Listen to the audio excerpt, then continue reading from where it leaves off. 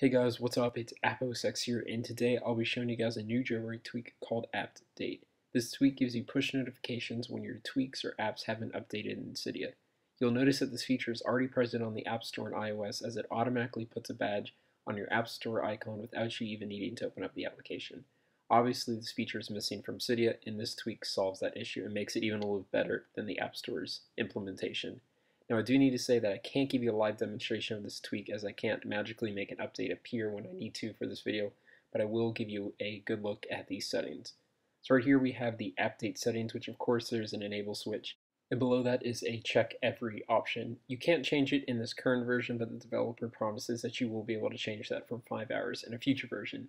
Better yet, you'll see that you can edit Cydia in the notification center and change all the basic things that you can with every other um, notification center item like banners, alerts, badge app icon, everything that comes standard in notification center. It's definitely really cool, and that's why I think you guys should check out Aptdate on Cydia's ModMyi repo. It is available right now, and it is a nice method of implementation to check your Cydia updates without actually needing to launch Cydia.